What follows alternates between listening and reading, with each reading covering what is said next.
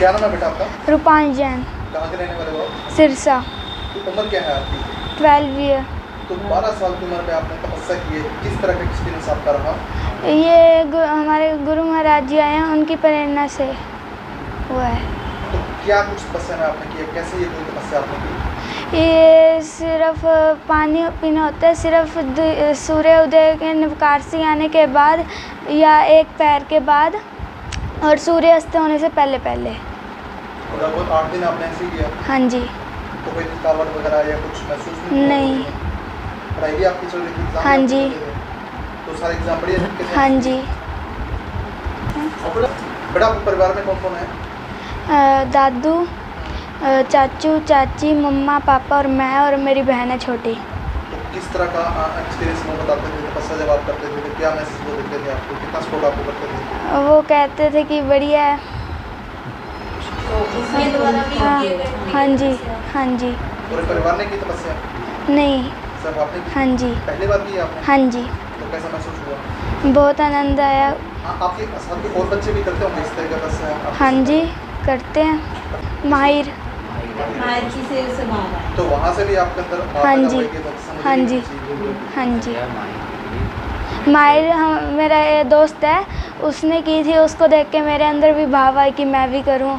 और कुछ घर वालों की तरफ़ से और मा- महाराज जी साहब की तरफ़ से भी आए। क्या नाम है जी आपका? मेरा नाम सौरभ है जी। हाँ, सूरज जी क्या कुछ कहना चाहेंगे आपके बारह साल के हाँ जी। तपस्या की है क्या हमें बहुत खुशी है हमारे गुरु महाराज आए हुए हैं उनकी प्रेरणा से हमें इनको शिक्षा मिलती है कि ये व्रत किए हैं इसने अठाई की है। हमारे जैन धर्म में ये सबसे महत्वपूर्ण त्यौहार है इस चमच पर्यूषण पर्व का। उसके उपलक्ष्य में इसकी भाव उठे और इसने पूरी तपस्या का कहा कि मैंने करनी है। तो आठ दिनों के अंदर किस तरह का एक्सपीरियंस बेटे का रहा? बहुत अच्छा रहा। उसने पूरा अपना मतलब मनोबल बनाए रखा और इसके एग्ज़ाम भी थे। फिर मैंने इसको बोला भी था मैंने कहा देख ले कहता नहीं मैं करूँगा। पर इसने किया अच्छा है। हमें खुशी है और पूरे परिवार का सहयोग रहा है इसके। पढ़ाई भी बढ़िया ढंग से करी, हाँ जी। तपस्या पूरी करी है इसने। क्या नाम है जी आपका? संदीप जैन। हाँ संदीप जी क्या कुछ कहना चाहेंगे? मैं ये कहना चाहूँगा कि एक छोटे बच्चे के लिए ये बड़े हौसले वाली बात है कि इसने प्रेरणा ली, गुरु माँ साहब से प्रेरणा ली और इसके अंदर ऐसा जोश आया कि इसने ये आठ दिन तपस्या की। और जैन जो हमारा परंपरा है, जैन समाज की जो हमारी तपस्या है, सबसे कठिन तपस्या गिनी जाती है।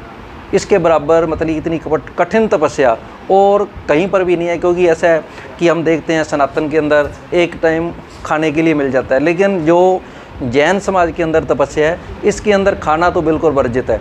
सिर्फ़ पानी पीना सिर्फ़ गर्म पानी वो भी सूर्य उदय के बाद और सूर्यास्त से पहले।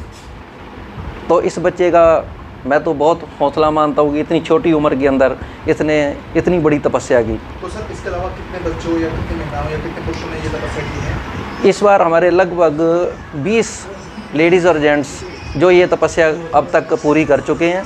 और इससे पहले पिछले साल इसी की उम्र का एक बच्चा था उसने भी ये तपस्या की। उसी से इसने प्रेरणा लेकर इस बार इसका मन बना। चतुर्मास में ये तपस्या की जाती चतुर्मास के अंदर तपस्या की जाती है। तो क्या लाभ मिलता देखिए हमारे जो जैन शास्त्र हैं जो हमारा जैन धर्म है इसके मुताबिक जो हमारे कर्म हैं जो भी हमने कोई बुरे कर्म किए हैं उसको काटने का ये सबसे अच्छा माध्यम है तपस्या। और भगवान महावीर स्वामी ने यही कहा है कि अगर कोई भी हमने बुरे कर्म किए हैं तपस्या के द्वारा ही काट सकते हैं और उनको काटने का कोई ज़रिया नहीं है। तो इसका क्या कोई मिनिमम या मैक्सिमम समय कि कब तक बंदा इस न- न- ये अपनी कैपेसिटी के ऊपर है जी।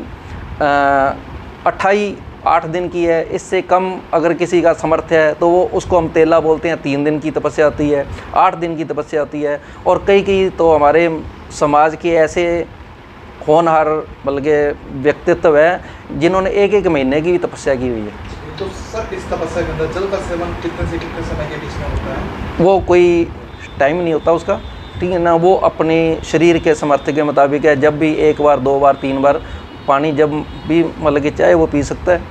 सूर्य उगने के बाद और सूर्य डूबने के हाँ जी सूर्य उदय के बाद और सूर्य अस्त से पहले पहले इसी के अंदर सूर्य अस्त होने के बाद अगर दवाई की भी ज़रूरत है वो भी नहीं ली जाती।